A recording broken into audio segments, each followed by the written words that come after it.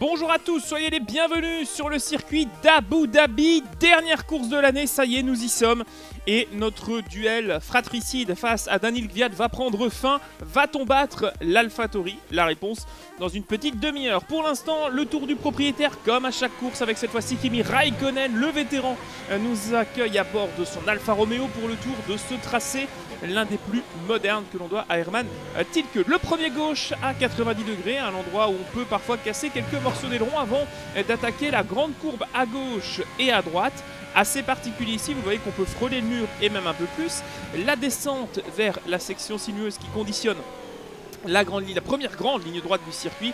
Alors ici, c'est pas trop difficile de passer, il faut juste bien accrocher les vibreurs et prendre la bonne trajectoire pour réaccélérer le plus tôt possible. Ici et là, c'est ici que l'on peut peut-être faire un dépassement dans 2 km. Mais il faut tout d'abord se blottir derrière son adversaire, utiliser une première fois le DRS. Alors évidemment, si la voiture devant n'en a pas, c'est assez facile de dépasser ici. Attention tout de même, la ligne n'est pas tout à fait droite, on se décale légèrement sur la gauche. On freine aux 100 mètres pour la deuxième grosse chicane du circuit.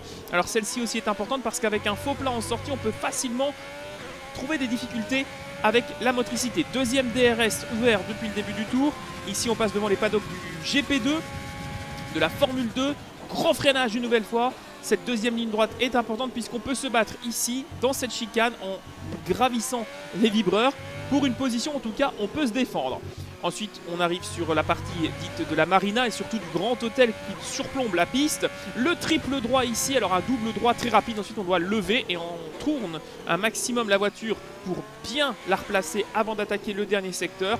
Cette section est tout aussi difficile parce qu'on a un vibreur très bombé sur l'extérieur qu'on est obligé d'emprunter pour garder la vitesse.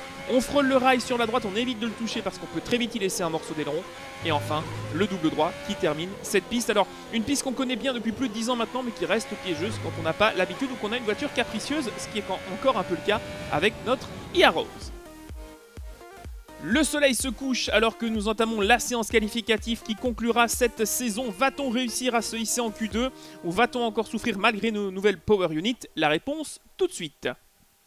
Dernière qualification de la saison. On s'attaque au circuit d'Abu Dhabi avec une voiture capable de faire de belles choses et peut-être terminer avec encore quelques points dans notre lutte face à Gviat. C'est parti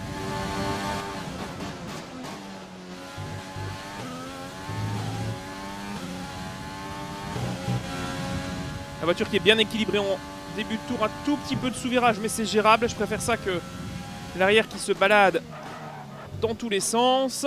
Au niveau de la répartition de frein, on est encore sur quelque chose d'assez euh, folklorique, mais ça fera l'affaire pour la Q1. Jack qui est 20ème. Ah, j'ai raté mon, mon DRS, ça arrive.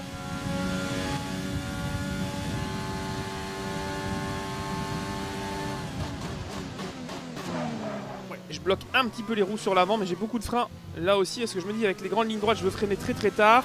Okay, there's two minutes left in this session and we're in the drop zone. We need a quick lap or that's qualifying over for us.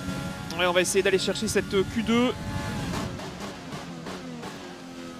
On aimerait bien accrocher une dernière fois cette année. On l'a fait plusieurs fois.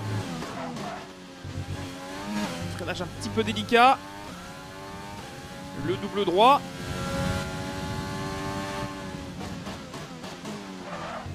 Voiture qui est bien mieux comme ça au niveau équilibre et différentiel.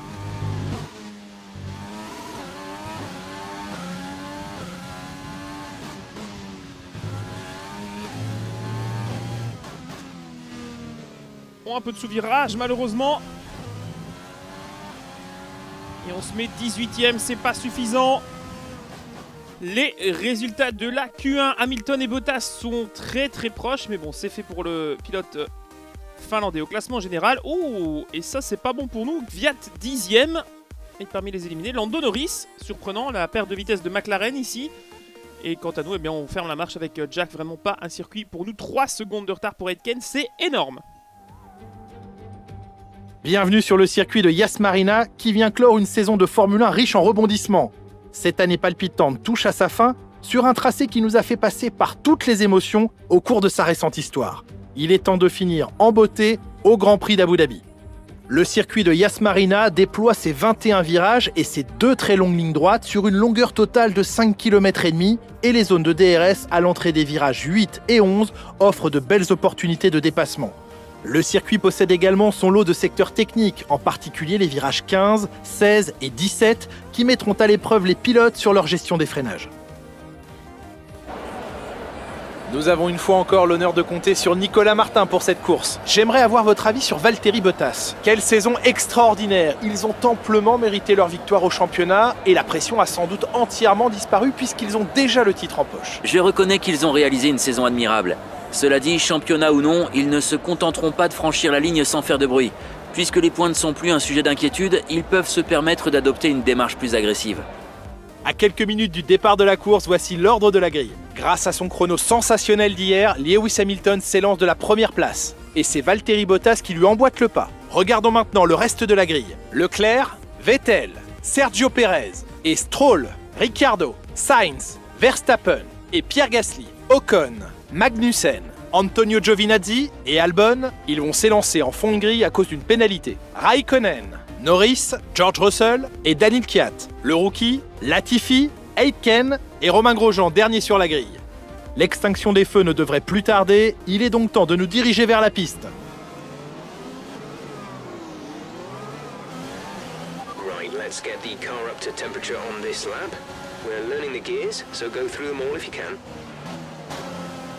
Ultime course de cette toute première saison My Team, on va se battre avec euh, peu d'armes ce week-end. En tout cas, la qualification n'était pas pour nous hier. On a fait euh, le 19e temps le samedi. Va-t-on faire mieux le dimanche? Enfin, 20e temps, mais on a une pénalité pour Romain Grosjean. Euh, surpris qu'il n'y ait pas eu plus de pénalités en fin de saison pour une première année sur My Team. Alors, beaucoup de choses vont changer et ceux de la deuxième saison, des transferts de pilotes bien sûr. Le modding, j'ai déjà une série de skins qui sont prêts pour changer certaines écuries. On verra évidemment en fonction euh, des changements de, des changements de pilote. J'aurais bien aimé par exemple vous... Euh... Alors qu'on nous confirme qu'on n'attend pas de pluie. J'aurais aimé vous changer plus d'équipe, mais bon, beaucoup de modding est désormais euh, axé sur My Team, donc pour nous, mais ça, vous verrez, Caros aura de nouvelles couleurs et de nouveaux sponsors l'année prochaine. Je ne vous en dis pas plus pour le moment. Vous découvrirez ça pendant les essais hivernaux d'ici quelques temps. En tout cas, pour aujourd'hui, une course qui n'a plus vraiment grand intérêt pour euh, la tête, puisque on sait que Bottas est titré, on sait que derrière peu de choses peuvent encore changer. Peut-être entre McLaren et Racing Point, la lutte pour la 4, 5 et 6e place est encore un petit peu euh, bancale, même si on voit que McLaren a plus de mal en cette fin de saison il pourrait se faire dépasser par Racing Point qui a quand même ses deux voitures en troisième ligne. De notre côté, eh bien, toujours en suspens, la lutte face à Danil Kvyat, le pilote russe qui euh, dispose d'un point de moins que nous au classement général. Donc on est juste devant lui, on est 13e. On va essayer de garder cette place, même si je vous avoue que vu notre position de départ et la sienne, on n'est pas les plus avantagés. Donc euh, on va voir ce que nous réserve ce dernier Grand Prix. Un peu d'émotion aussi tout de même parce que bon, on avait dit qu'on avait euh, plus de saison sur, sur My Team. Je sais que vous êtes moins regardés, que c'est un peu plus classique, que ça ne correspond plus forcément aux demandes, aux attentes de ce qui marche. Je ne stream pas 8 heures sur, euh, sur Twitch comme d'autres. Donc sincèrement, voilà, moi je m'amuse en faisant ça. Vous êtes quelques centaines à regarder, quelques milliers peut-être parfois. Et euh, voilà, si vous êtes vraiment passionné, on va encore aller au bout de cette saison ensemble et peut-être de bien d'autres. On verra la suite des hostilités. Pour l'heure, on part du côté salle de la piste, tout comme Jack Aitken. On va essayer de bien s'extraire et de profiter peut-être des derniers points de cette première année. Allez, tout est en place pour ce départ. Et le départ du Grand Prix d'Abu Dhabi est donné. Excellent envol à l'extérieur. Oh, c'est pas mal ça. Oh, il y a eu contact avec Albon. Et une, euh, une, Alpha qui a laissé un bout d'aileron et c'est Kimi Raikkonen. Alors on va plus rester bloqué derrière Kimi comme il y a quelques grands prix. Ça va, on passe rapidement le Finlandais et son Alpha. Pas de souci devant. Très bon envol pour euh, les deux Mercedes les deux Ferrari, et deux Racing Point. C'est un peu plus chaud derrière entre Renault et McLaren. On manque de percuter la voiture d'Alexander Albon. On se met à l'extérieur, c'est bien joué ça. Excellent départ pour l'instant, on est 14e. Peut-être qu'on va pouvoir aussi aller chercher la Red Bull. C'est vrai que le moteur Honda n'est plus autant à la fête qu'il y a quelques temps. Allez, il revient quand même avec l'aspiration. Et on a une As qui euh, est également bien partie. Magnussen Premier gros freinage sur le circuit. Attention devant pas mal de changements de piste. C'est vrai qu'après l'épingle, c'est ici qu'on peut essayer peut-être de faire quelque chose. On a une très bonne motricité par rapport aux alphas. Ainsi qu'à la As. Alors va-t-on créer une troisième ligne? C'est pas impossible. Soyons un petit peu prudents, il n'y a pas forcément la place, ça touche. hein. On entend que les euh, voitures et les pontons se heurtent. Finalement, Giovinazzi va avoir le dessus sur euh, Magnussen. Nous, on se loupe un petit peu. On va laisser passer le Danois. On insiste à l'intérieur. On va le toucher. Gros duel face à Magnussen et on passe. Alors, on est bien pour l'instant. 13ème, c'est un très très bon premier tour. On a brûlé un peu plus de carburant. Bottas, le désormais champion du monde. Et devant.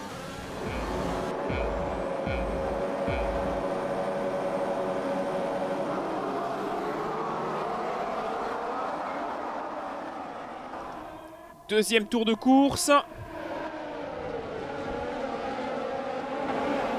Et vous voyez que la voiture est pour l'instant bien installée sur ses pneus tendres. Un peu plus compliqué par contre au niveau des freinages où on bloque un petit peu. L'usure est assez constante.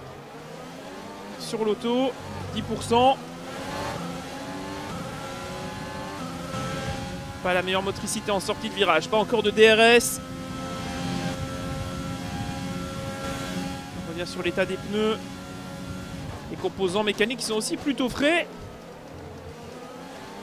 Ce qui s'est déjà remarqué aussi au Brésil, hein, où on était vraiment au-dessus de ce qu'on pouvait faire. Alors bien aidé par la stratégie et la météo. Toujours leader le Finlandais qui aura creusé l'écart avec l'abandon d'Hamilton, notamment en, en- en Italie. Alors qu'à Abu Dhabi, après une saison, on t'explique encore ce qu'est le DRS.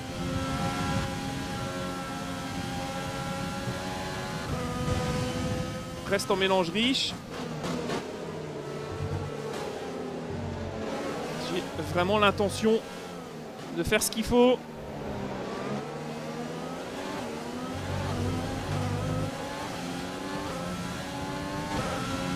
On va voir le DRS. On l'a. Oh, et Mal... Ouais, Magnussen et Albon derrière qui se battent. Albon va logiquement repasser devant la Haas. Et nous, on a Giovinazzi toujours devant, toujours debout.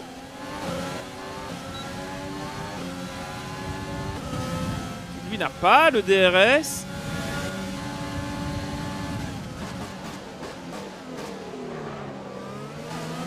Les gerbes d'étincelles qu'on voit souvent ici à Abu Dhabi sur certaines voitures. Et nouveau tour couvert. On garde la pression sur Giovinazzi.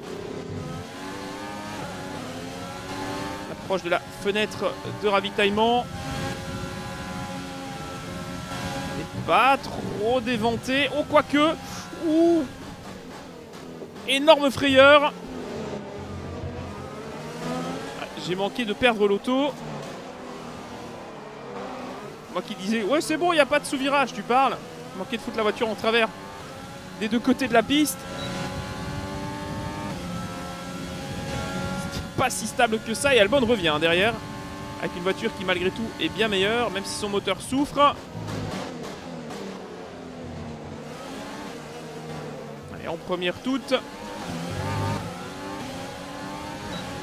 Difficile d'avoir la motricité. Et pourtant, Giovinazzi n'est pas rapide par rapport aux autres voitures devant lui, que sont Ocon et surtout euh, Gviat. Freine très tardivement. Giovinazzi repasse. Donc là, j'ai plutôt évité l'accident avec euh, l'Italien. Et J'en ai pas fini avec lui. Oh, drapeau jaune, attention. Drapeau jaune, c'est Esteban Ocon qui fait un bloc. Attention, c'est fini pour le français. Alors, est-ce qu'on va avoir droit à un safety car? C'est pas impossible. Et safety car déployé.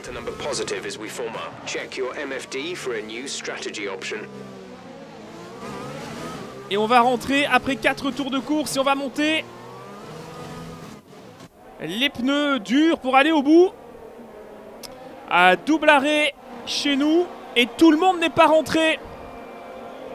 Et visiblement on met des médiums. Donc on va suivre la stratégie de nos petits camarades.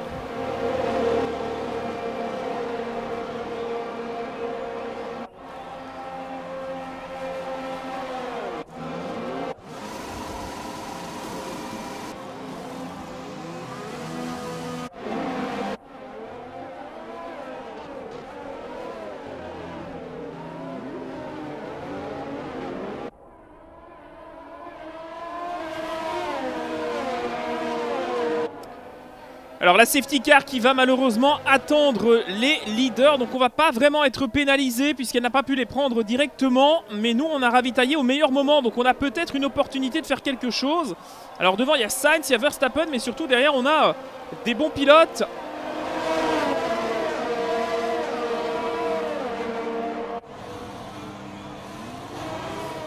Allez, on a réduit le rythme pour respecter le delta.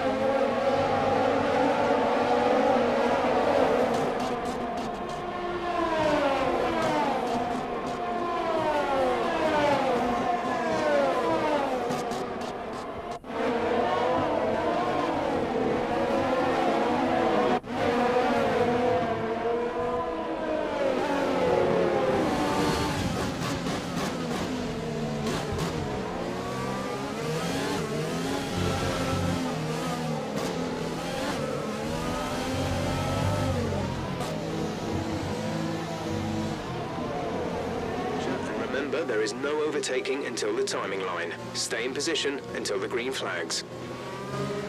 La relance va avoir lieu dans quelques instants et certaines voitures ne sont pas rentrées sous safety car on va donc avoir droit à un restart assez intéressant.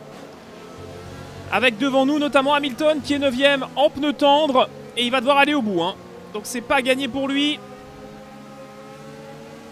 Et la relance, c'est parti, drapeau vert. Teammate behind is 6.5 seconds.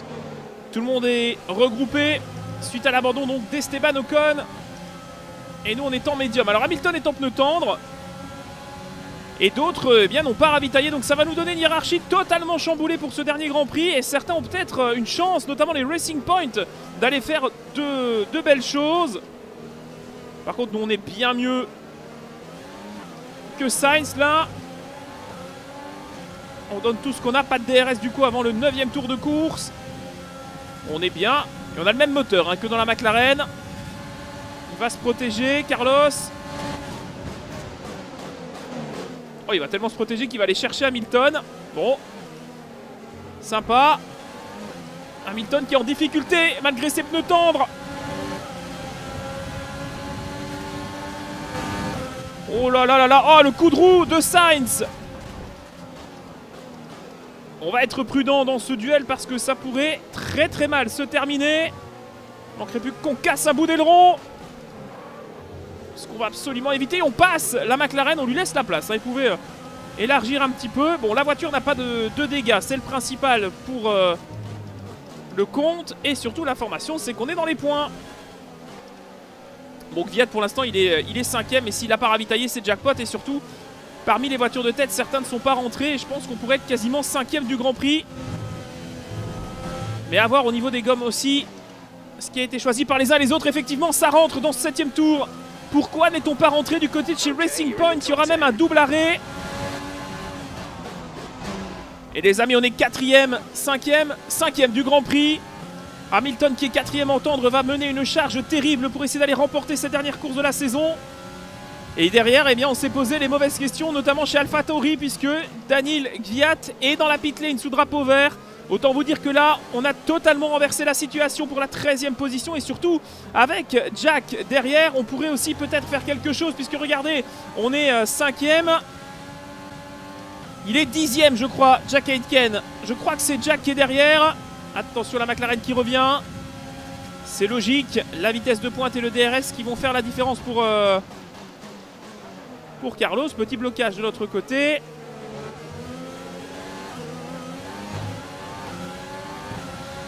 Toujours pas de DRS.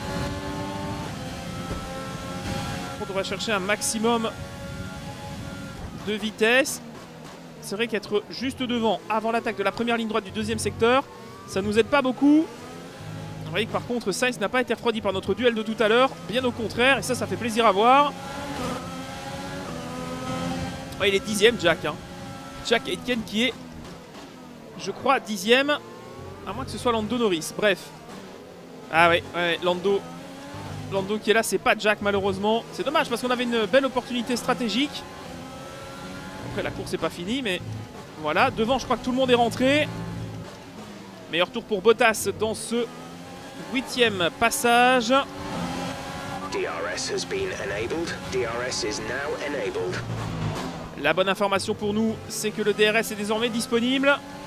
On a un top 5 à aller peut-être chercher. C'est vrai que j'aurais pu monter des hards. Je me suis changé euh, d'idée au dernier moment, dans la pit lane même, en voyant les autres passer euh, sur la composition de gomme médium. Allez, on va tout mettre pour aller chercher Sainz.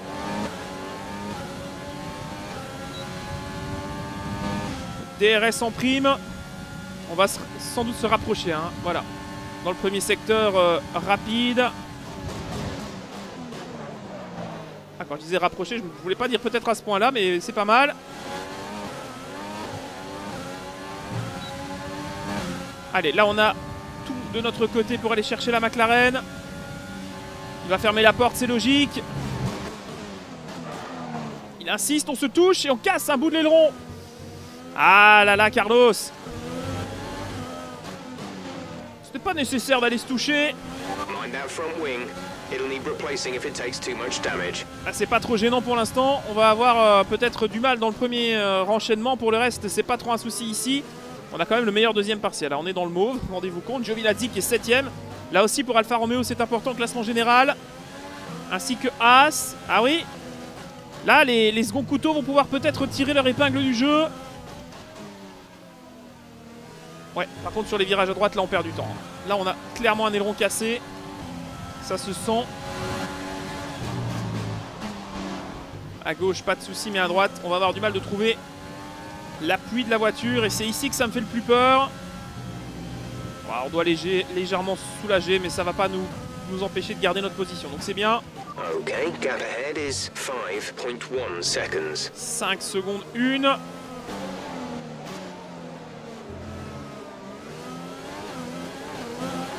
Est-ce qu'on peut s'extraire de Sainz? Il a le DRS. On est bon niveau carburant. Ah, on pourrait terminer en fanfare cette saison, mais derrière, il y en a trois qui veulent absolument notre peau.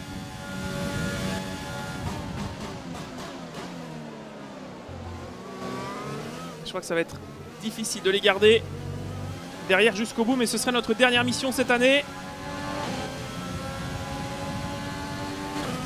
Au moins battre Viat. Pour l'instant, si on ne marque pas de points et lui non plus, on est devant pour un point. Je pense pas que derrière, que soit Giovinazzi ou les autres, euh, on soit menacé directement. Mais quelle, euh, déception pour Racing Point, hein, qui a mis ses deux voitures en même temps dans les stands et sous drapeau vert. Et j'ai pas compris. Autant chez Mercedes, on s'est pas posé la question. Chez Red Bull, pas trop non plus. Et pourtant, ces voitures étaient derrière le pace car. Un tour plus tard, donc c'est dommage. Mais c'est tant mieux pour nous. C'est de ce genre d'opportunité qu'on doit faire profit. Allez, onzième tour. Toujours Sainz derrière.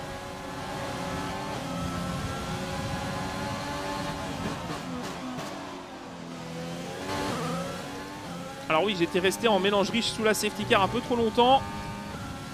Mais il fallait rattraper la voiture de sécurité. Et quand je pense que sous le, sous l'hôtel, j'étais quasiment derrière euh, Sainz. C'était pas un si mauvais timing.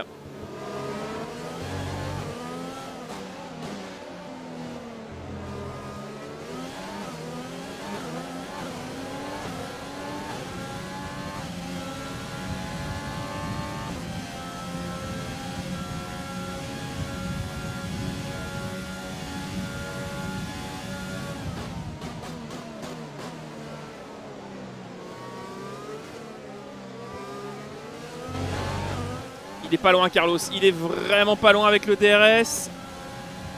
Ça va être difficile. Ça va être difficile, mais croyez-moi qu'on va pas lui faire de cadeau. On a laissé un bout de museau sur la piste, on compte pas lui laisser notre place en plus. Manquerait plus que ça. Par contre, le gap devant devient énorme avec Hamilton. Hamilton qui est en tendre hein, et qui ne revient pas sur Verstappen.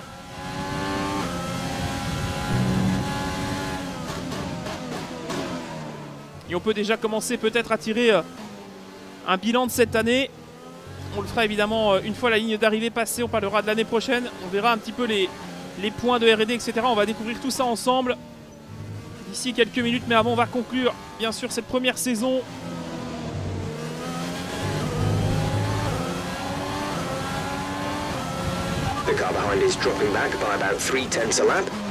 Et on est 3 dixièmes sur un tour. 3 dixièmes plus vite que l'ami Carlos.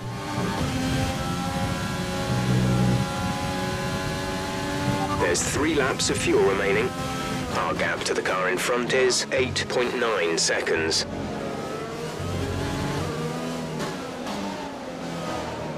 Oui, secondes de retard qui euh, deviennent vite 9. Hein. 8 secondes point 9 qui deviennent vite 9 secondes point 2.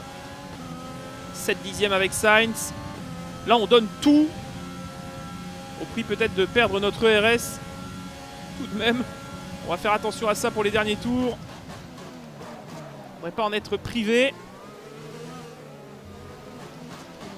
Rendez-vous compte, on peut aller chercher un tel résultat. Alors c'est notre meilleur résultat de la saison, cinquième, c'était en Autriche, où on avait profité alors de la safety car, euh, des arrêts de la météo, on avait fait un coup euh, du tonnerre au niveau stratégique. Oh, je souvire.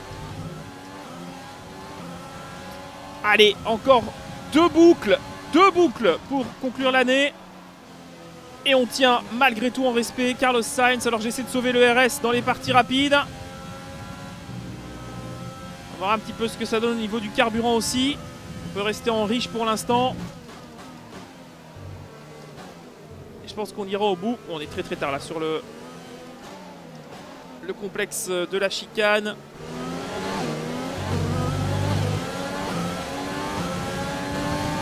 Sainz entre euh, ouais, 5 et 7 dixièmes à l'entame de la ligne droite. Tant qu'on le tient à ce niveau-là, ça va.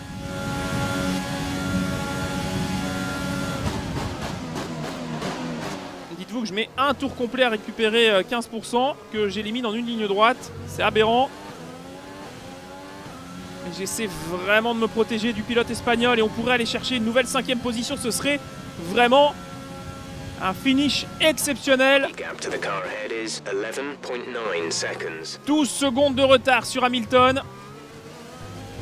Toujours bloqué derrière Max. Et devant, on doit avoir, je crois, une Ferrari. Et, et Bottas qui va finir la saison sur une victoire. À moins que je n'ai pas vu qu'une Ferrari soit passée. Il revient, Sainz, il revient. Ok, je viens de voir le classement. Techniquement, on aurait bien une Ferrari, une Red Bull et une euh, deuxième Red Bull qui serait en difficulté, celle d'Albon. Donc ce serait une Ferrari en tête. On aurait une victoire Ferrari. Alors ça, ce serait un coup de théâtre terrible. Mais du coup, où est euh, Bottas alors qu'on a emmené avec nous le Bollard? Allez les amis, dernier tour de la saison. Donc on a bien au classement Bottas, une Ferrari, Verstappen et Hamilton. hein. C'est bien la hiérarchie à l'entame de ce dernier tour. Bottas qui avait énormément d'avance à l'issue de ce dernier passage. Et c'est Leclerc qui perd sa deuxième place.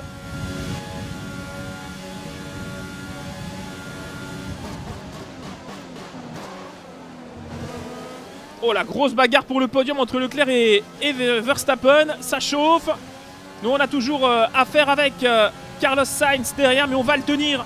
Le pilote espagnol c'est la dernière ligne droite où il pouvait peut-être nous menacer. Si on ne fait pas de bêtises on va ramener une exceptionnelle cinquième position à l'arrivée de ce Grand Prix d'Abu Dhabi. On aura géré parfaitement la stratégie, bien aidé par la safety car et l'abandon d'Esteban Ocon. Ah, le moteur Renault qui devra être fiabilisé pour l'année prochaine. On n'a plus de RS, on n'a plus de carburant, on est au bout de tout. Mais surtout, victoire de Bottas, c'est important. Peut-être derrière ce qui se passe aussi avec euh, Giovinazzi, avec la Haas de, je crois, Magnussen. Et les amis, drapeau à damier, l'arrivée du Grand Prix d'Abu Dhabi, cinquième position, exceptionnelle performance pour Rose. Magnifique. We've had a very strong season this year, very strong indeed. Well done, and thank you on behalf of the team for a fantastic effort.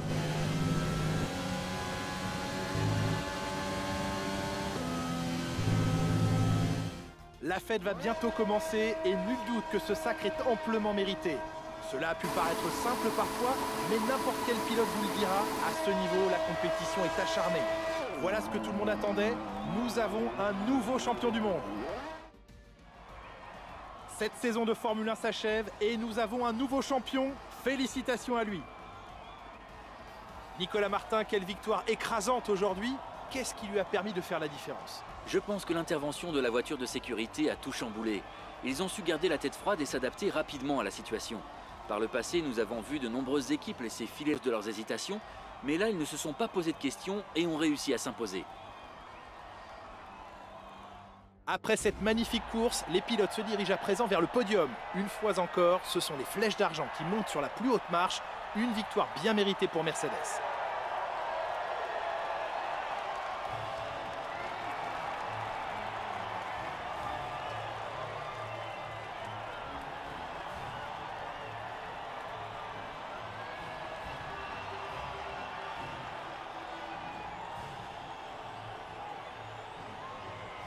Les résultats de ce superbe Grand Prix d'Abu Dhabi, victoire de Bottas, meilleur tour, il partait depuis la première ligne, bref, euh, un week-end quasiment parfait pour le pilote finlandais qui finit comme il a commencé la saison très fort. Nous, eh bien on égale notre meilleur résultat en partant 19ème, c'est quand même pour moi avec le, Grand Prix d'Autriche, les deux courses on a été euh, le plus euh, aidé par les la course, les circonstances en fait de ce qui s'est passé. Euh, derrière on est remonté et surtout déception pour Jack Aitken qui termine 13ème. Ça aurait été vraiment bien qu'il marque des points moins, un point cette année. Lui qui a dû prendre en cours la saison à, Silverstone, c'était pas facile.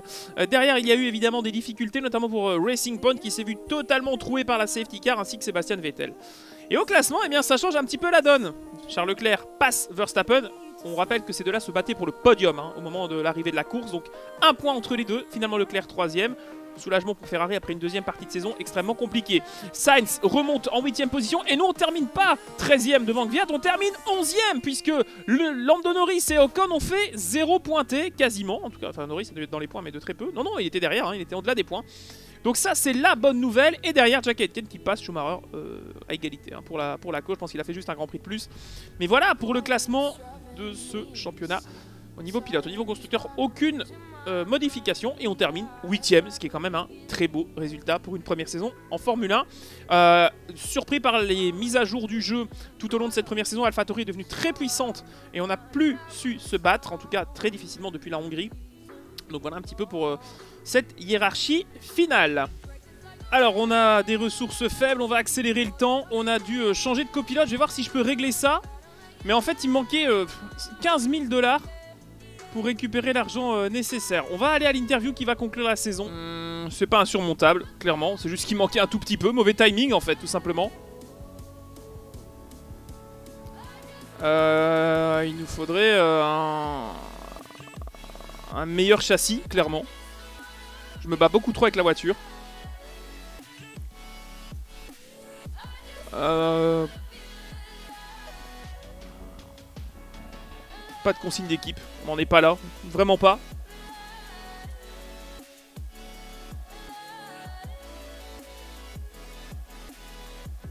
Bah avec des bons résultats, il ne risque rien, sauf s'il coûte trop cher. Salut Jack Aitken.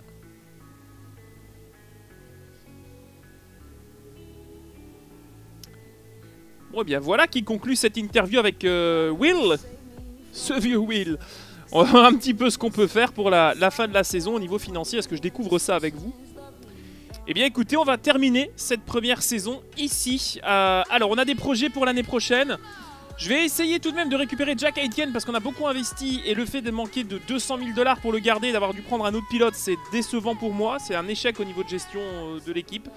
Euh, on verra. Mauvais timing de ma part. Pu être prévenu aussi par le jeu, ça aurait été pas mal. En tout cas, j'espère que cette première année vous aura plu. Moi, je me suis beaucoup amusé. Euh, c'était vraiment cool de, performer à quelques occasions, mais c'est vrai que je vous concède qu'une saison vanille avec une voiture de fin de peloton, c'est intéressant au bout d'un moment, mais là, on va beaucoup plus rigoler en fait parce qu'on va, on va aller dans l'expectative et dans, l'inédit. Et c'est ça qui est intéressant une fois qu'on termine la première saison, c'est que l'année prochaine, eh bien, il y aura nouvel équipier, nouvelle livrée, nouveau casque, nouveau timing, des transferts. Bref, il y aura plein de nouveautés à ce niveau-là, peut-être même une saison avec moins de circuits et un calendrier remanié. En tout cas, merci à toutes et à tous d'avoir été fidèles à cette première saison de My Team. On se retrouve très vite pour la deuxième avec les essais hivernaux, les skins, les transferts, bref, tout ce qui fait qu'on aime cette, euh, cette aventure finalement, parce que c'est une aventure pour moi aussi. Euh, donc n'hésitez pas à liker, n'hésitez pas à vous abonner pour ne pas manquer la deuxième saison. Moi je vous donne rendez-vous très vite. D'ici là, bon amusement en piste les amis, quel que soit votre jeu de course favori. À la prochaine, salut